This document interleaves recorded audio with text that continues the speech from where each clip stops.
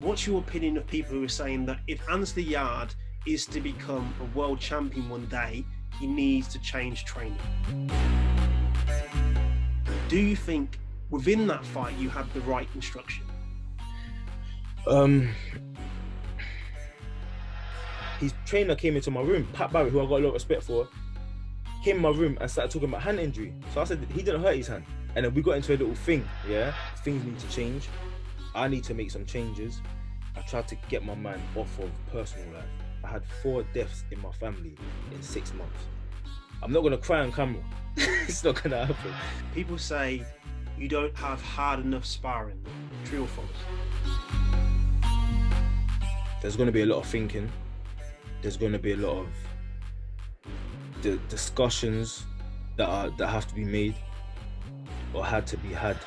So, will Anthony Yarde still be coached by Tunde Ajayi to get to that world level?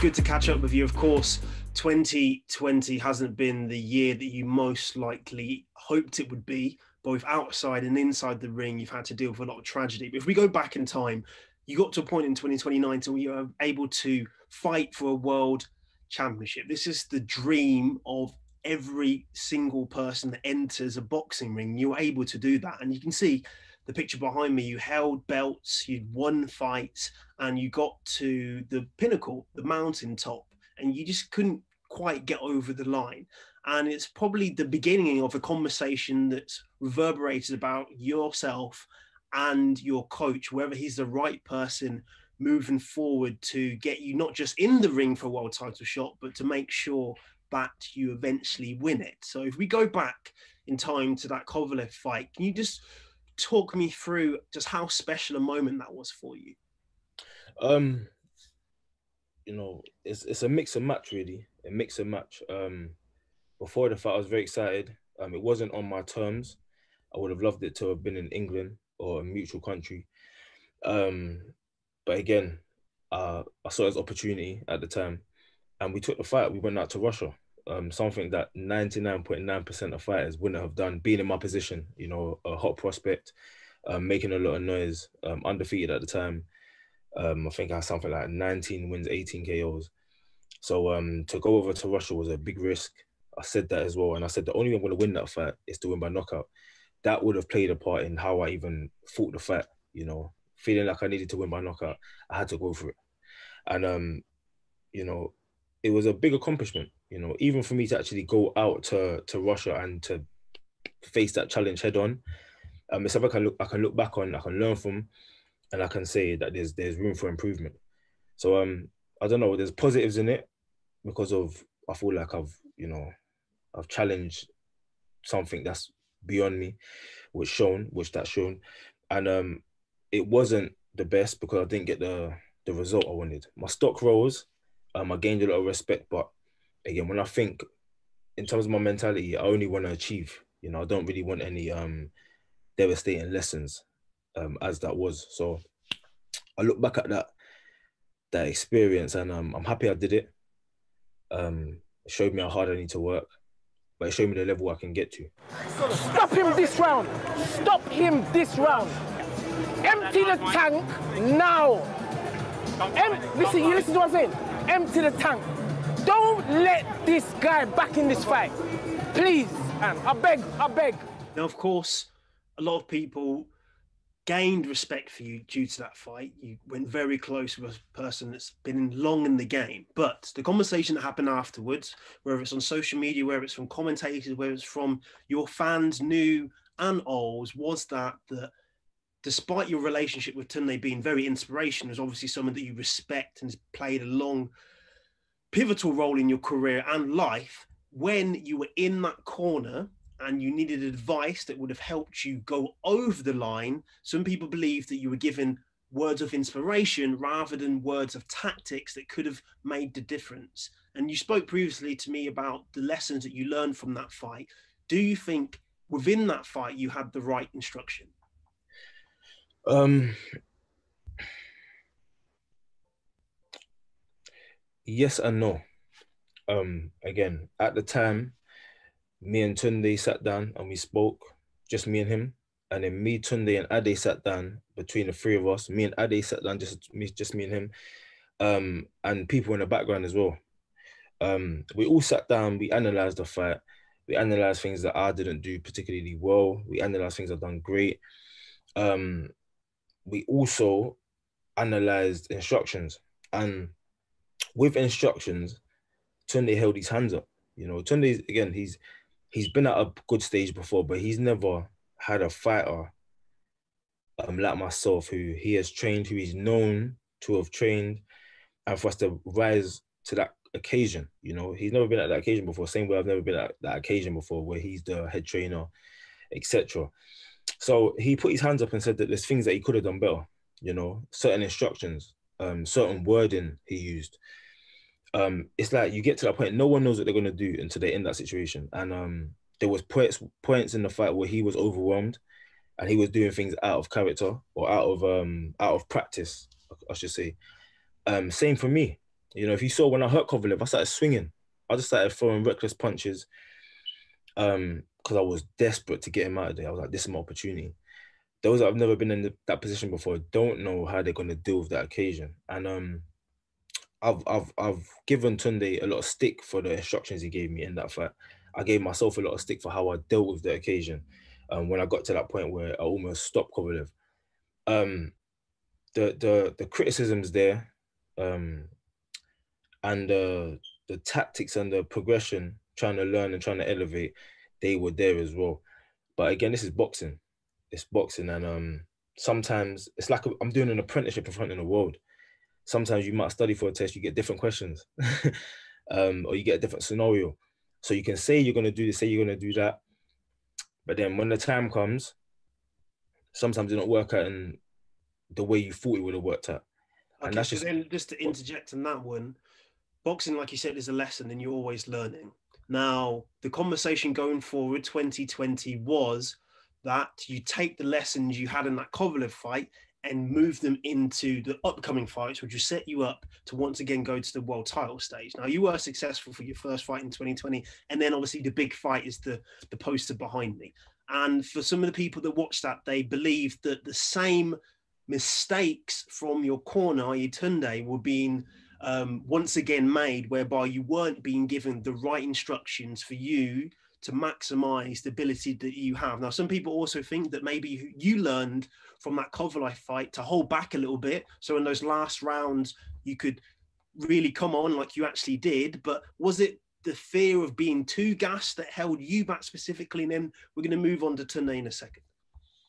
Um, to answer your question, I'll answer it in stages.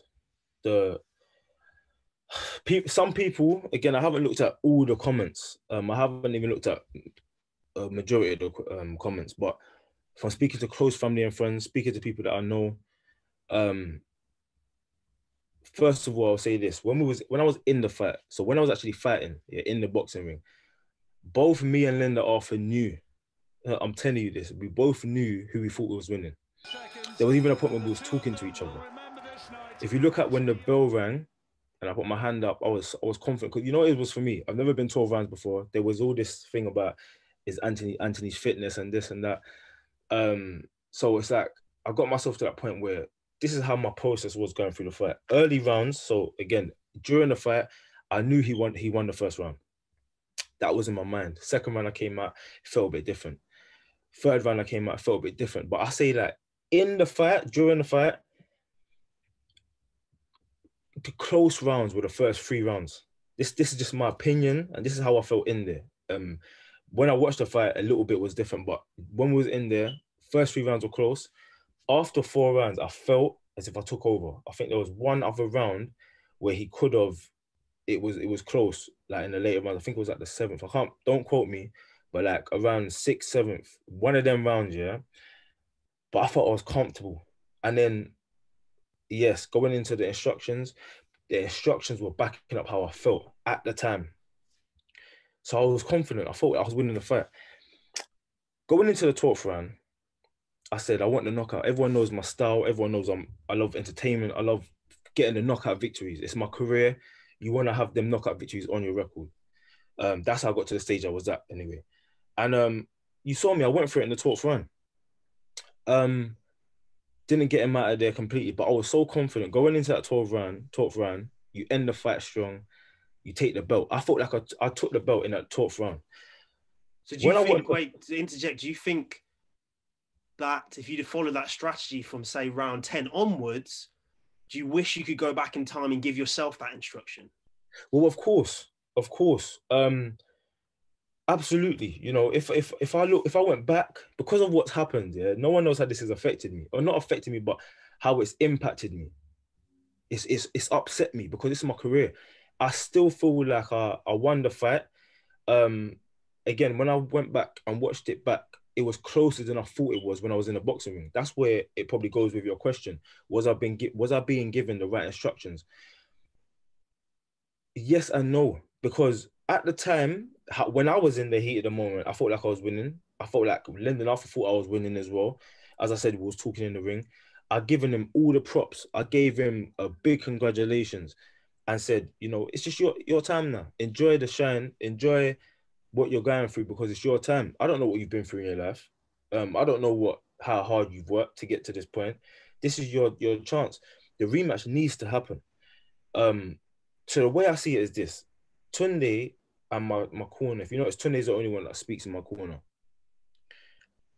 And even after we all spoke, the way they saw it before watching it back was I was dominating the fight. I was on the front foot. I didn't go back once. I was landing the cleaner, more effective punches, etc when I watched the fight back, all that was being highlighted was a jab from Lyndon Arthur. Yes, he's got a fantastic jab. The jab was working in certain areas, but do I feel like that overwhelmed everything I was doing? I, I will have to say no. Um, there's some parts in the fight where when I watched it back, I was like, some some of the shots I was hitting him with, you can't even see them. Sometimes that's camera angle as well. But again, that's something for me to learn in boxing. When you're in there, sometimes if you get hit with even two jabs, they could see that as that's that's his round. So it's like I've gone back to that mentality of it's straight savage mode. I'm going back on that beast mentality of yes, I need to learn. I need to better my boxing skills because I'm in a catch twenty two. I've been getting criticized saying I can't do twelve rounds. I've been criticized saying I don't do this, I don't do that. So maybe I need to just strip myself back down and say, "F this is straight beast mode again," because they don't want to see boxing from me. So it's like it's speculation. I'm known for knocking people out. So because I wasn't doing that, they've seen it as like he's doing something that's stopping me from doing what I normally do. And that wasn't the case. And that's what, again, that's feedback that's been given to me. And that made sense.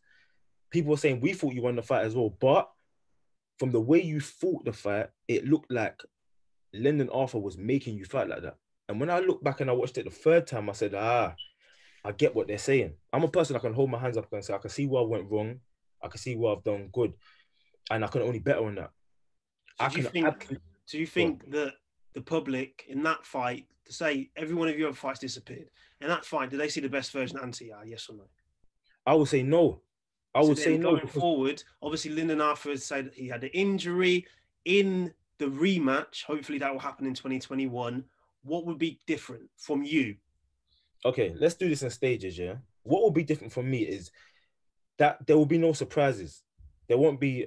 I won't be going in there and working on boxing skills because I feel comfortable. Yeah, because that's what happened. I'm gonna go in there and dominate because that's what I feel like I need to do. I need to get the knockout victory. And I said it after the fight as well. I was like, do I have to knock out everybody? From what be, what was said to me by close friends and people that I, I love and trust was speculation. And I get what they're saying. It would have been perceived as if Arthur was keeping me at bay when that in during the fight wasn't the case. But when I go back into to what you just said, yeah, about the actual fight, I feel like Lyndon Arthur during the fight, I, I urge everyone to go back here. There's all this speculation about hand injury. I meant I said the wrong word during after the fight. I was heated and I, I mentioned the word robbery. I don't like that word, yeah, because it was a close fight as I, when I look back at it. So I apologize for saying the word robbery. The judges have got a job to do. I respect them, um, but I still feel like I won the fight. But it's boxing. I've seen decisions before that I didn't agree with, so I'll leave that as that. Now, talking about injury, yeah, the, the, the disrespect is this. He's mentioned about his hand. Majority of boxers have had bad little bruises and bumps and bruises on their hands. People don't know this. I, have been getting acupuncture on my shoulder because I've had a shoulder injury. Do I make uh, excuses and say that's why I was holding back with certain power shots? Absolutely not. Because that's not boxing. That's not respected in boxing. That's not respected from me. He's saying he hurt his hand, yeah. But then if you watch the fight, I urge everyone to do this. His trainer said, let the right hand go. He said, I can't find Anthony. I can't find him. I can't land the shot. Tunde, now this is what people don't know again. Someone came round and told Tunde, we think Lyndon has hurt his hand. Now, if you look at the commentary, so they were saying that he's not throwing his right hand. They've come round and told Tunde, we think Lyndon has hurt his right hand. Then Tunde said to me in that after that yeah. round, I think Lyndon has hurt his right hand.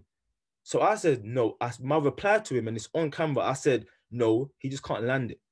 Because I was at the time I was buzzed. I knew what I was doing. Like, I was like, we was talking to each other. This is why I was able to come with that response because he was jittering to throw his right hand, and I was saying no, like no, I'm not there. And it was boxed anyway. That's between million and half. When is that coming on? You can't land around, eh? It's like you can't land around. It's like you can't even over. I can't land it. You're saying you can't land it, you're not trying to. Yeah. Yeah. Fantastic. And I may be wrong, but it looks like he's hurt his hand. He ain't throwing no right hand, yeah? So throw them shots at him. He's got one hand. I can see it. I can see it. Okay? He can't land it. He can't throw it right hand. He can't, he can't, yeah. And if he throws it, shoulder, can't. I got it.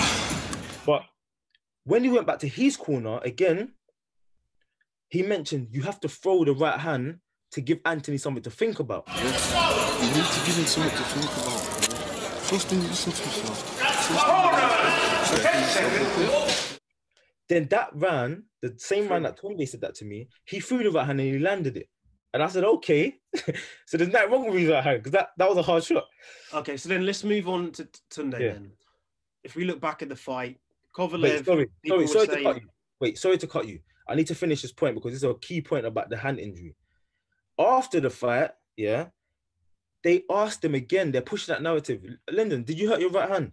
He replied saying, "No, I just Anthony's defense." But then what happened was a few minutes, well, not a few minutes, about half an hour later, his trainer came into my room, Pat Barrett, who I got a lot of respect for, came in my room and started talking about hand injury. So I said he didn't hurt his hand.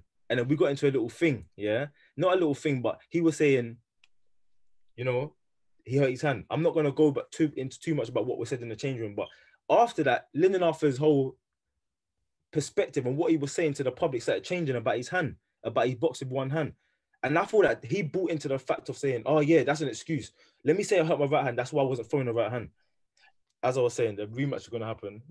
yeah. So either way, the rematch will happen. Lyndon yeah. was declared the winner. Obviously, not the result that you wanted or the result that you believe is true to how you performed. But if we look back after the fight now, once again, the the situation happened like at Kovalev. People were questioning the instructions you were getting from your corner. I know, obviously, both you and Tunde believed that you were winning the fight, but in terms of tactics to negate the jab that some people believe you're having difficult with, when it comes to reading those comments, hearing those comments, and listening to them, what's your opinion of people who are saying that if Anthony Yarde is to become a world champion one day, he needs to change training?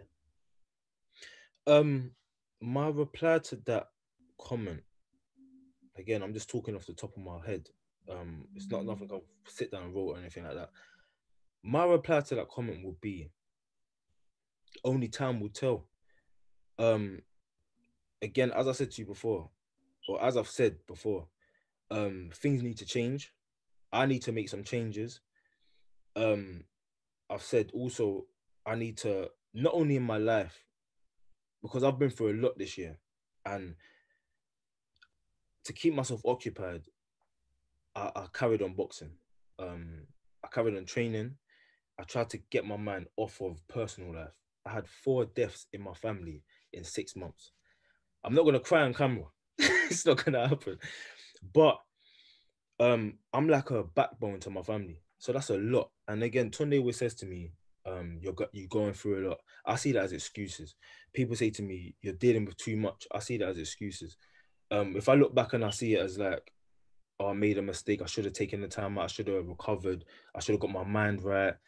Um, because then I will be able to think clearer and all them kind of things. Then so be it. That's life. But I'm a trooper, and again, when I shout lions in the camp and I say it's a mentality, the show must go on. And some people respect it, some people won't.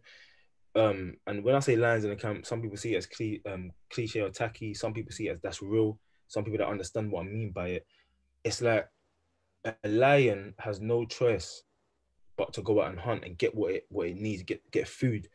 It's cub. So his own child might have died, but he's still got to go and do his business. He's only got a certain window to sob and go through what he's going through. So I even try to explain it to my family. I'm like, the show must go on. Um, we we. then we how must- hard is that for you?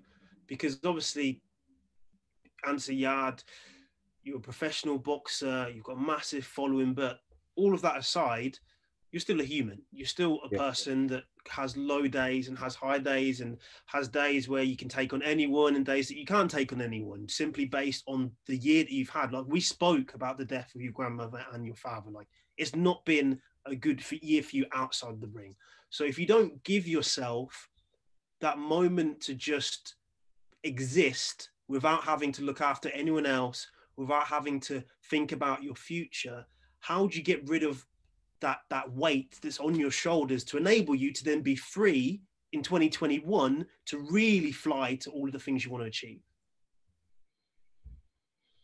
Um, I think it's just staying focused. Um, again, now, again, I got myself to that point where this year has just been terrible for me. On another day, and this is just boxing, another day I would have won that fight. The judges would have given it to me. Um, again, on a couple other days, the judge would have given it to him again. Um, another day, look, I would have got the I would have got the knockout victory. We don't know, but it's the past now, so I'm not really gonna dwell on it too much. But I'm not gonna let this situation, meaning me, the fight with Meaning and Alpha, I'm not gonna let it. I've tried to not let it dampen me too much because I didn't go out there and in my term just lose the fight. You know, it was a close fight. He said it.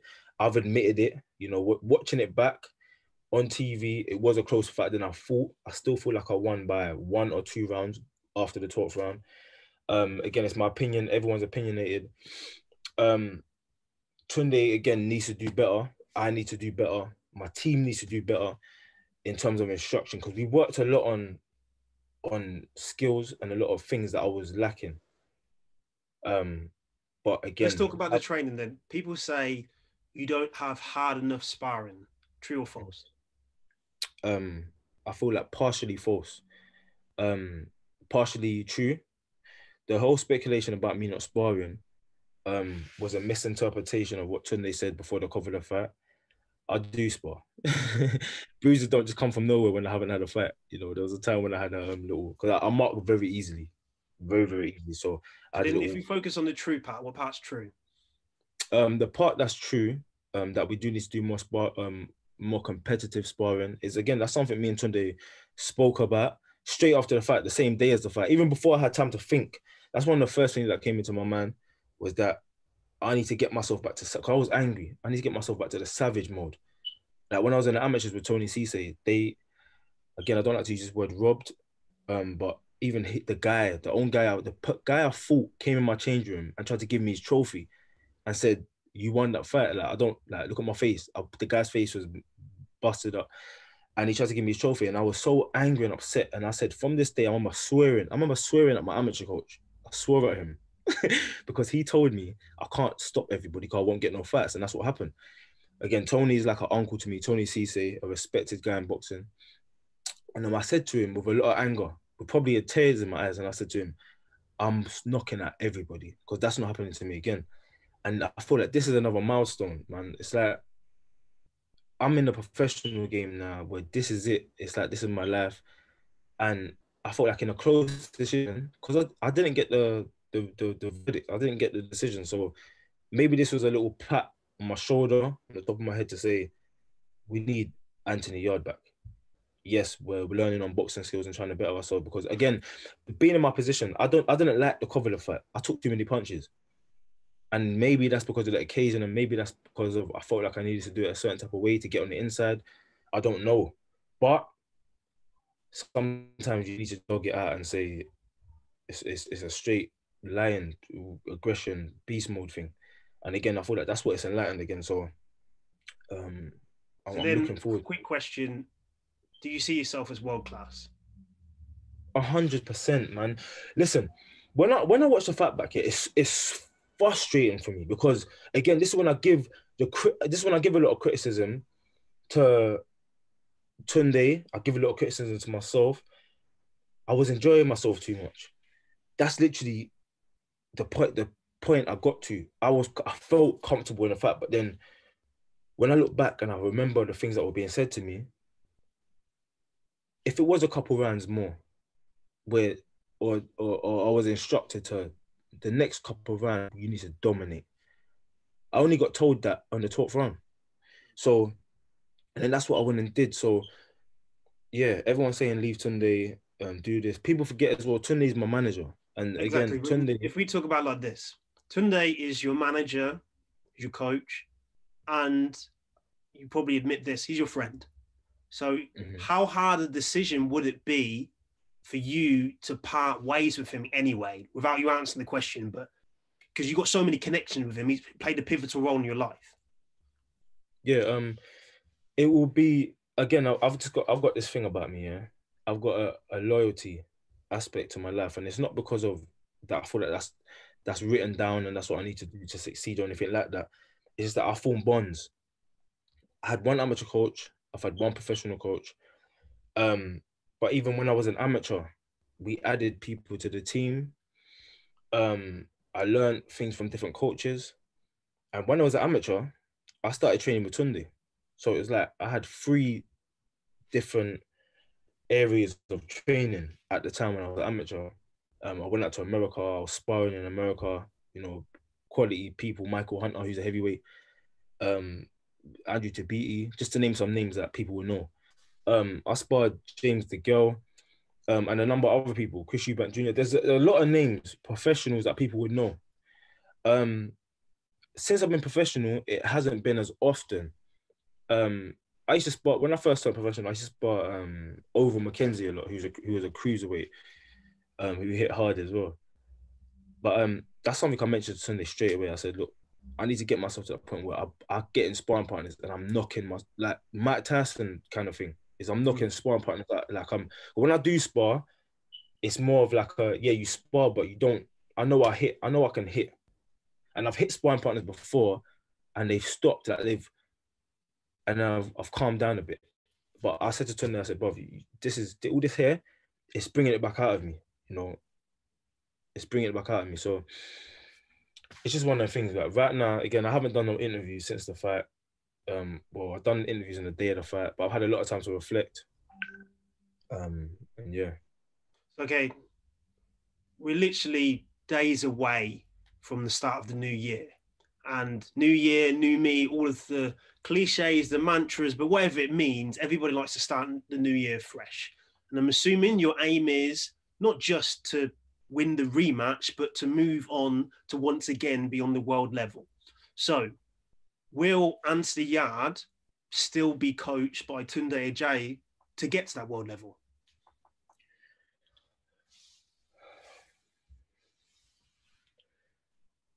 me and Tony need to sit down and talk.